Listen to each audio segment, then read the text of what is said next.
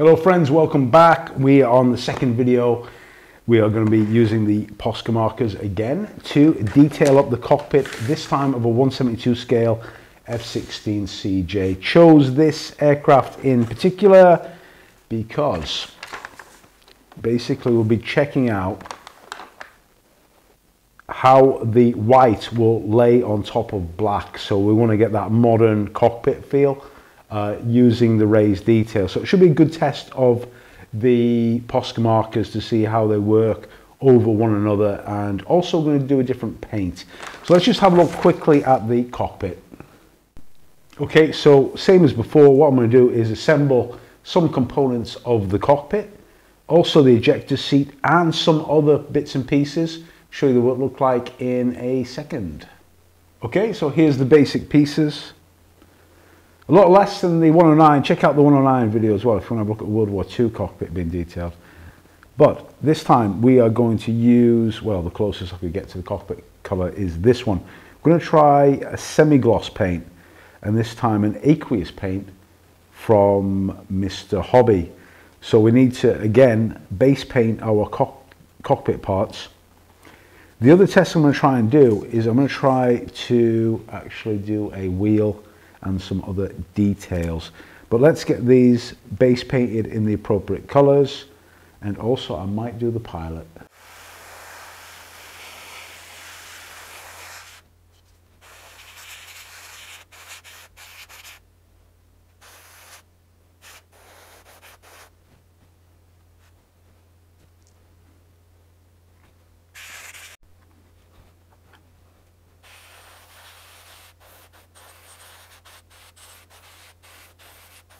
Okay, with the parts now painted, let's just give them 30 minutes to cure before we apply the markers.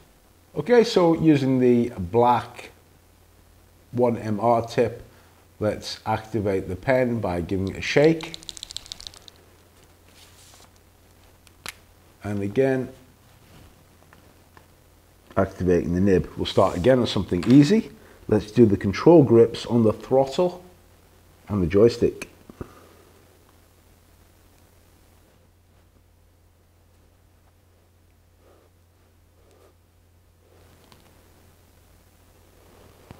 Okay, now let's try and detail the black consoles inside the cockpit.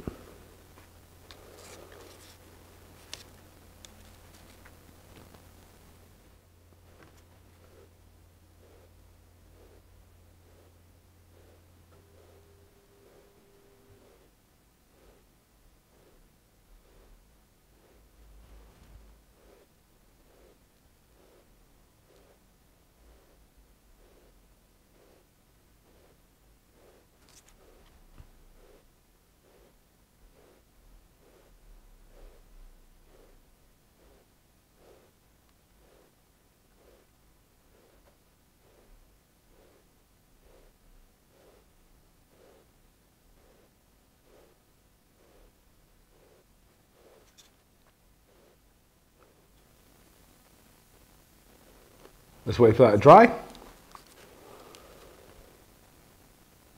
And now let's detail the main console of the aircraft.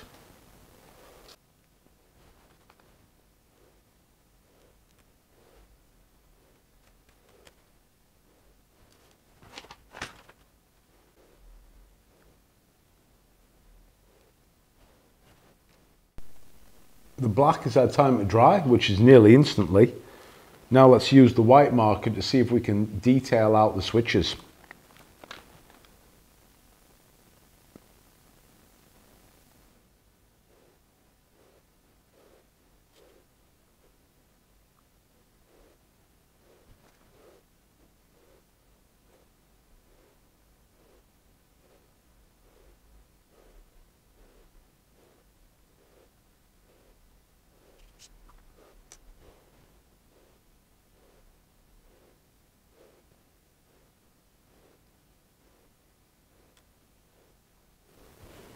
Okay, there we are. Well, immediately we can see that the white is very strongly opaque against the black. It is a little bit difficult to do. You need to make sure that the tip is pretty clear of paint. or else you'll just flood the entire area. But in all honesty, not that bad a result considering we're just using pens. Let's see if we can just add a little tiny bit of detail onto this forward console.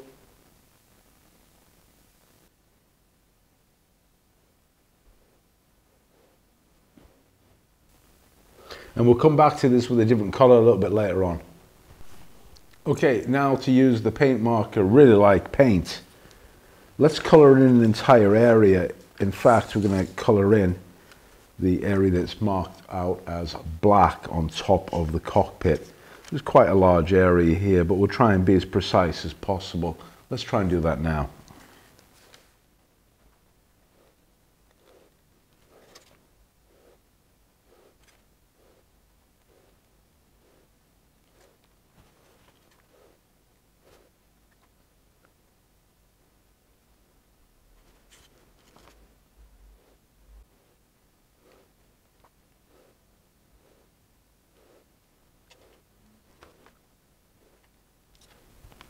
Okay, so one massive advantage with the black is the way that it dries matte and also the coverage is of course opaque even on this bare plastic.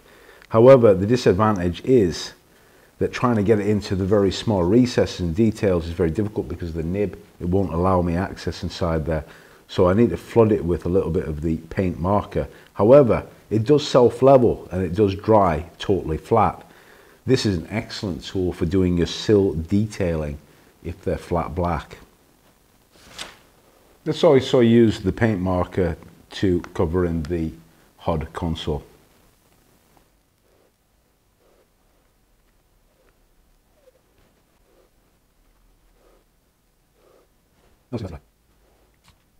Let's experiment at using the black and white paint markers to fully paint and detail these wheels.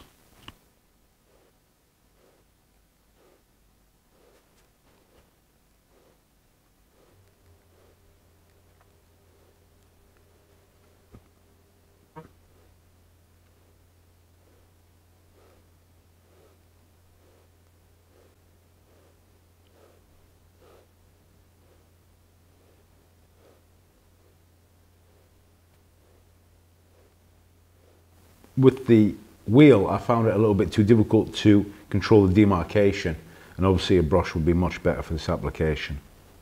Because I'm unhappy with the finish of the wheel, let's remove all of the paint marker using some alcohol.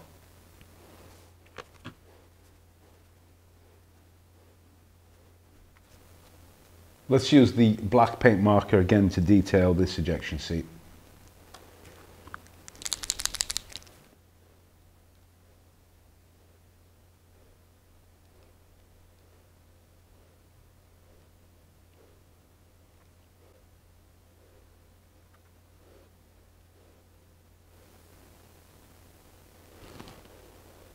Again, I have the same problem, the nib not being able to reach inside the very deepest details.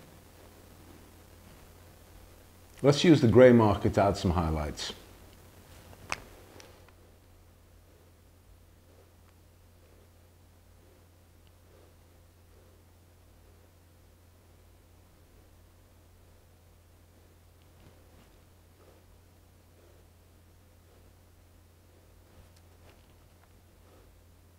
Finally, let's add the panel line accent colour, the enamel wash from Tamiya, on top of the paint marker to tone down the effect.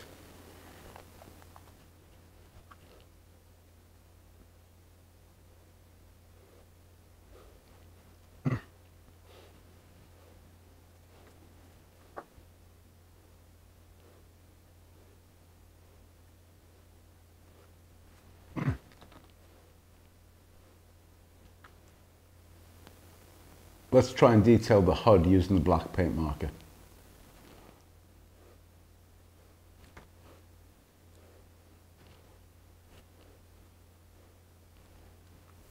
Let's now airbrush the pilot figure with Model Air acrylic from Vallejo and see how the paint marker can detail afterwards, checking for any adverse effects on the paint.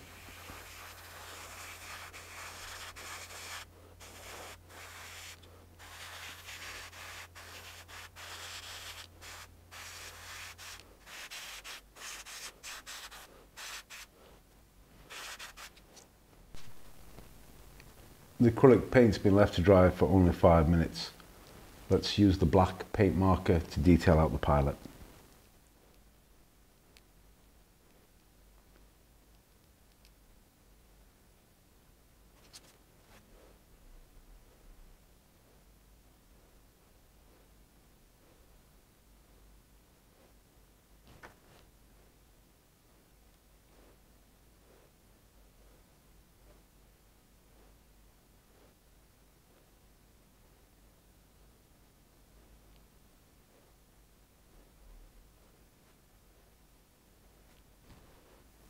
Let's apply a second coat to try and get a more opaque white if possible.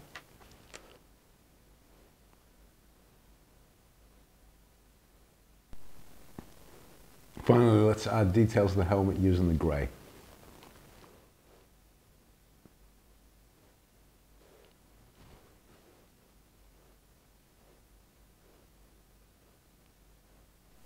Finally, let's add the panel line accent colour to add depth to the pilot figure.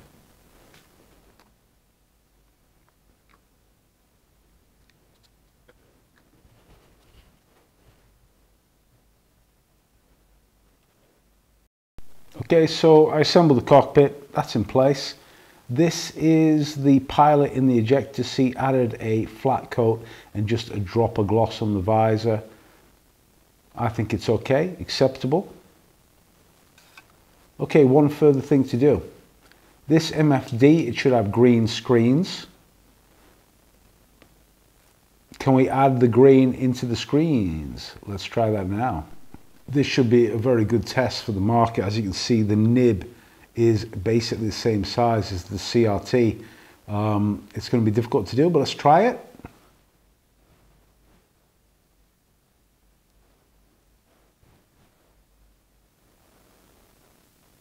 Well, it does appear the green totally opaquely covers the black. Let's just let that dry off and see how it looks. Okay, so I went in actually with the black and just sort of tied up the outside edge. Pretty accurate, looks pretty good, it does work. Okay, final thoughts on the F-16 172 scale cockpit. Again, um, I really enjoyed using them. I think uh, quite successful. What I found out though is that the coverage on top of bare plastic is um, less it's less than um, applying it on top of the paint. When you apply it on top of the paint, the markers work a lot better. I really like the effect on top of the, the white on top of the black. Um, looks particularly effective. Question is, guys, do you want to see me do a 148 scale cockpit? Uh, uh, using the same method? If so, write in the comments. If I get sufficient feedback, I'll do a 148 scale cockpit using the same method. If not, this is the last time uh, you'll see a full demo of this. Okay, one more video to do is armor, so we'll do that next.